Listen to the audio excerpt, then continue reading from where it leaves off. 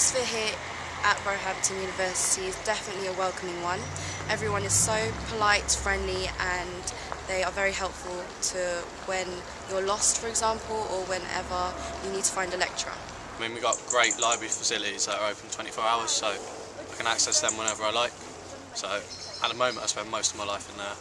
Um, the teaching staff probably they're really helpful. They're always there for you. Um, they'll tell you whatever books you need to get, and they'll help you get your work done. I guess. The setting, the setting's great. The fact that it's in central London, but it has all the right uh, nature and things around it to help you feel like you're separate from London, but right in the middle of the hustle and bustle as well.